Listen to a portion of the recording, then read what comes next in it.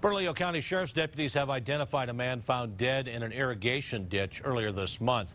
Melvin Summerall was found June 10th by a Conservancy District worker who was cleaning out the ditch near Coors and Rio Bravo. Deputies say the autopsy did not reveal anything suspicious. They're now awaiting toxicology results to see if he had any medications or other substances in his body.